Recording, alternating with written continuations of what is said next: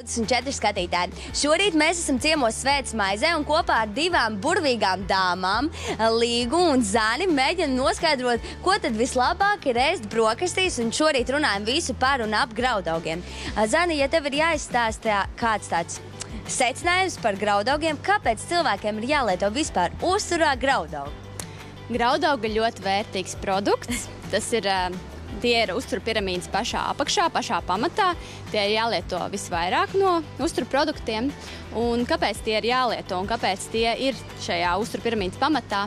Galvenokārt tāpēc, ka tie satur, tās, tas ir, tā, tie ir Tās ir, tā ir ātrā enerģija, tie satur minerālu vielas, vitamīnus, piemēram, B grupas vitamīnus. Un vēl kas ir ļoti labs, tie satur šķiedrvielas, kas veicina zarnu darbību, mazina holesterīnu uzsūkšanos, veicina uzlabo zārnu mikrofloru. Izvada sliktās vielas, tāpēc, not, tāpēc šos produktus noteikti vajadzētu lietot ikdienas uzturā. Kurā dienas daļā vislabāk ir uzņemt graudaugus? Mēs minējām brokastis, kā ir. Nu, ja mums uh, dienā ir jāuzņem 6 porcijas graudaugu, kas ir apmēram pusi no glāzes, nevārīt graudaugu, uh, tad uh, būtu ieteicams uzņemt viņus īstenībā gan brokastīs, gan pusdienās, gan vakariņās, lai nodrošinātu šo normu. Skaidrs. Mēs šeit arī redzam pilngraudu miltus un uh, pirmās šķiras miltus, un tad mēs varētu vēlreiz izstāstīt skatītājiem, ar ko tad atšķirās šīs šķiras. Uh, ir tā, ka, ja mēs iedomājamies graudu, tad viņam ir apvalciņš, dīglītis un tā pamata sastāvdaļa. Un ir tā, ka pilngraudiem šis apvalciņš tiek saglabāts. Un, un, uh, pirmā maluma, pa augstākā labuma miltiem vai graudiem šis apelsīns ir noņemts. Kāpēc būtu jāiet labāk pilngraudu produkti? Jo galvenokārt tāpēc, ka šajā apelsīnā ir daudz minerālu vielas un vitamīni, kuri tiek noņemti. Vēl kas ļoti interesē arī skatītājus zina par bio, un tad varbūt izstāst to ātri to atšķirību bio no parastiem produktiem. Tad bioloģiski audzēts un parastais. Uh, nu, Bioloģiski audzēts nozīmē, ka uh, produkts ir audzēts dabīgos apstākļos, netiek pievienots nekādas ķīmikālijas, nekādi herbicīdi, fungicīdi un uh, nekādi minerāli mēslojumi. Viss, viss ļoti dabīgi. Un, tā kā Latvijā graudaugu produkti ir viena no piesārņotākajiem, tad būtu labāk izvēlēties tieši bioloģiskos graudaugus savā uzturā. Radījumā tirgus spēle mēs arī secinājām, ka tomēr ir labāk pirkt bioloģisku, varbūt par nelielu lielāku naudas summu, bet tomēr mēs zinām, ka tā, tas ir kvalitatīvs produkts. Jā, pilnīgi piekrītu. Tā atšķirība nav tik liela un labāk ieguldīt savā veselībā.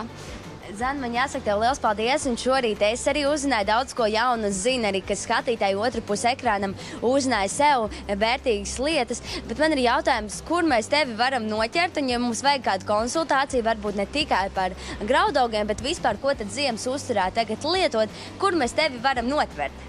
Uh, nu, pirmkārt, es esmu Facebook. Man noteikti var rakstīt, prasīt. Uh, un, bet uh, mana darba vieta ir. Uh, strādāju nodarbību centrā Zvaigžņu pļava, Krišņēna Valdemāra ielā 34, kur es sniedzu veselīgu uzturu lekcijas.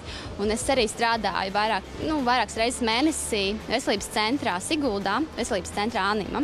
Tā kā darbi ir daudz. Jā, darbi ir daudz, droši rakstiet. Uh, Bet man tāds jautājums tieši ar uzturu speciālistiem. Kā ir, vai ziemas periodā cilvēki vairāk griežas pie jums, vai tomēr vasarā, kad ir šī pludmales sezona? Nu, patiesībā vairāk ziemas periodā, jo vasarā cilvēkiem ir citi plāni. Viņi negrib domāt, nu, īstenībā pats vasarā mēs arī varam uzņemt daudz vairāk visādas vērtīgas vielas. Un parasti vienmēr ziemā cilvēki domā, nu, ko tad es varu uzņemt tādu uzturā, lai nodrošinātu šo pilnvērtīgo uzturu. Rekā, bet uh, Līga, man ir jāsaka jums paldies. Paspētīšu arī roku. Ieaicinājāt iekšā šajā mazajā maigā svētas maizes namiņā, jāsaka tā. Atnāksim citreiz ciemos parunāt par maizi, jo maize tomēr ir jūsu tas lepnums. Šodien vispār graudaugiem, bet uh, Zana, varbūt tev ir kāds tāds novēlējums skatītājiem šorīt vispār un ap graudaugiem. Ēdiet pilnvērtīgi, ēdiet graudaugus un dzīvojiet veseli. Un Līga, varbūt jums kaut kas piebilstams par graudaugiem? Nu, te jau vairs nav ko piebilst. Tā kā ēdiet veselīgu uzturu, ēdiet graudaugus un domājiet par to, par to, ka jūs, jūs esat tas, ko jūs ēdat. Lielisks secinājums. Jūs esat tas, ko es, jūs ēdat. Un, uh, es vēl skatītāji teikšu, es jums ieteikšu uh, izvēlēties un pamēģināt kaut ko jaunu. Jo, piemēram, priekš manis ir jauns šie pilngraudu milti, un noteikti aizejot mājās, pamēģināšu uztaisīt arī šādu putru. Bet šobrīd mums ir jāatvedamies, un lai jums veselīgi, veselīgi šī diena. Uzredz!